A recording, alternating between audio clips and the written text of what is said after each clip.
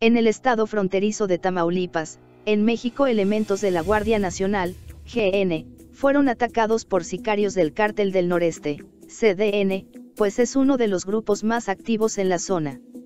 Todo inició en la carretera que conecta a los municipios de Ciudad Valles con Ciudad Victoria en el tramo de Ciudad Mante y la Llera de Canales, aunque por fortuna los efectivos lograron repeler la agresión.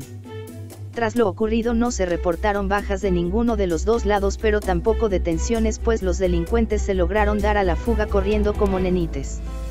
Aunque se reportó que lo que las autoridades sí consiguieron fue asegurar dos vehículos Ford escape, armas largas y cargadores abastecidos que traían los cuasitos.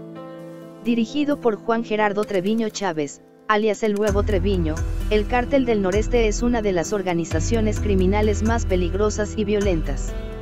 Como principal modus operandi tienen clonar la ropa de militares y de la Guardia Nacional para hacer retenes a la vista de todos, incluyendo las propias autoridades e inclusive así atacan a los policías. Su presencia está detectada en los municipios de Reynosa, Nuevo Laredo, Ciudad Mier y en Nueva Guerrero, en Tamaulipas además de los estados de Coahuila y Nuevo León, todo cerca de la frontera con Estados Unidos.